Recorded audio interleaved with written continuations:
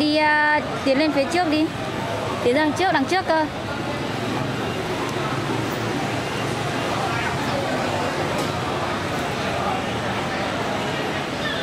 Đi với nhau.